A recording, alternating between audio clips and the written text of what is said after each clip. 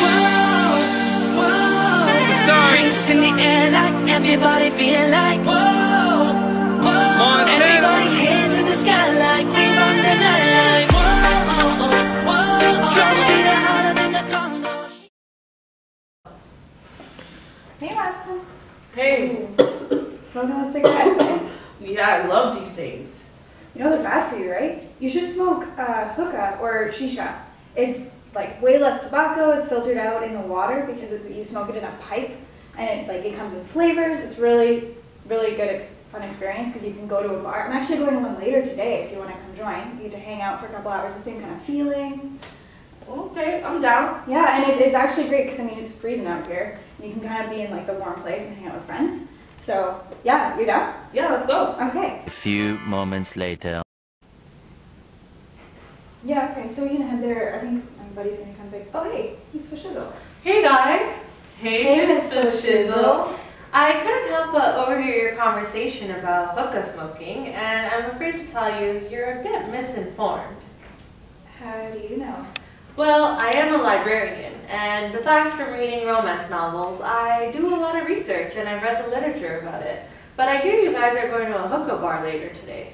Yeah, we are. Yeah. Yeah, so I'm done for the day. Maybe I can come with you guys and explain why shisha or hookah isn't actually as good as it seems to be.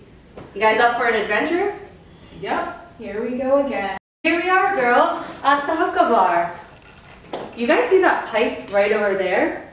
We're actually gonna shrink ourselves, and when the next person smokes, we're gonna get a tour of their body from the inside. Are you guys ready? All right, before we continue with this adventure, we have to look at some misconceptions associated with hookah smoking. You guys are university students, right? A study looked at students at two southeastern universities in the United States and found that students perceived hookah to be one of the least addictive tobacco products out there.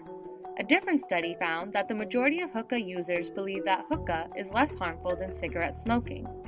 Some people perceive hookah as not being harmful because of the belief that the smoke gets filtered into the water.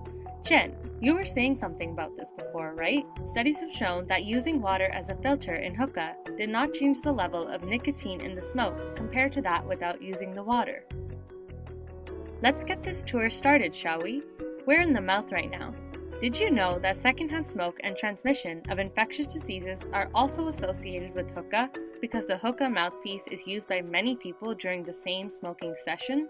That's a mouthful right there. Touche! This mouth really is a smoky room, isn't it? I'm not surprised. The number of puffs and volume from using hookah is about 10 times higher than cigarettes. Let's keep going and take a look at the lungs. Look at that tar lining. The burning temperature of tobacco in hookah is twice as much as that for cigarettes, which could lead to different types and levels of harmful chemicals in tar. I just searched information about them on my phone. Those products don't have any nicotine, which is found in tobacco. But data shows that there is no significant difference between the tobacco containing hookah and tobacco free hookah in terms of formation of tar, carbon monoxide, volatile aldehyde, and polycyclic aromatic hydrocarbons. These substances contribute to things like cardiovascular disease, lung disease, and cancer. So, yeah, non tobacco hookah is ex- not exactly the safest thing in the world either. It's so nice of you to back up my argument about hookah, Madison. Here we are. Bloody amazing, isn't it? The person's been smoking tobacco based hookah. You can see the nicotine traces in the blood. Hookah smoke contains 36 times the amount of nicotine and higher concentrations of heavy metals in comparison to cigarettes. But not that kind of heavy metal. You know what I mean. Miss Fo Shizzle, I've only used hookah a few times for roughly 30 minutes at a time. You don't think that's made that much of an impact on me, do you? Interesting that you say that, Jen. A recent study actually had hookah smokers aged 18 to 34 smoke for 30 minutes and looked at potential cardiovascular effects. I think the guy that we're inside has been smoking for about 30 minutes now. Let's see what's going on in his cardiovascular system. His heart rate has increased by about 16 beats per minute. There's a noticeable increase in the stiffness of his arteries, which are blood vessels carrying blood away from his heart, and a single session of hookah smoking causes an acute increase in arterial stiffness that is comparable to what has been previously reported for cigarette smoking. The exact toxic agent causing this stiffness is believed to be nicotine. I heard the stiffening of large arteries can lead to the development of hypertension, which is continuously elevated blood pressure in the arteries. That's right, Madison.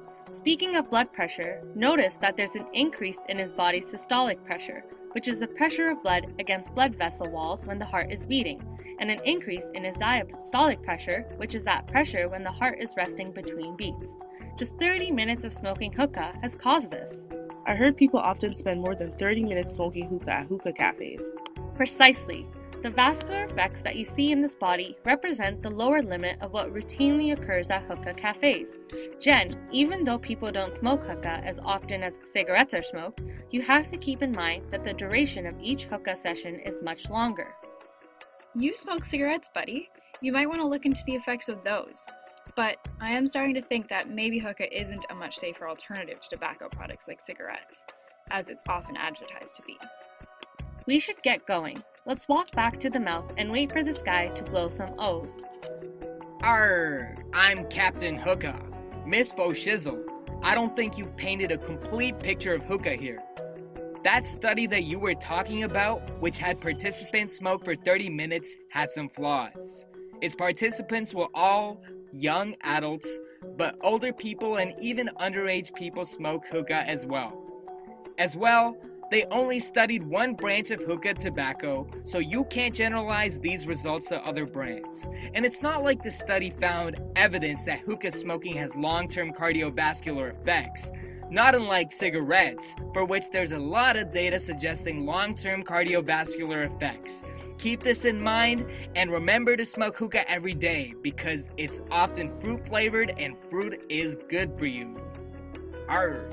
Captain Hookah made some good points. You should always consider other sides to an argument, but in this case, there's plenty of evidence that hookah is not a safe alternative to cigarettes. Captain Hookah's right though. More research needs to be put into investigating the long term health effects of hookah. Anyways, guys, let's get going. Oh, wow, that was so fun. Yeah, thanks, Miss Fo Shizzle, for showing us all about hookah. There's so many misconceptions that now make more sense. No problem, guys, and hope you stay off the cigarettes and hope you stop smoking hookah. I will, and actually, I'll, I'll spread I'll spread that information to my friends because I think it's a really common misconception. Sounds good, guys. I'm gonna head back to the library now. You girls have fun. See ya. Do you think she lives at the library?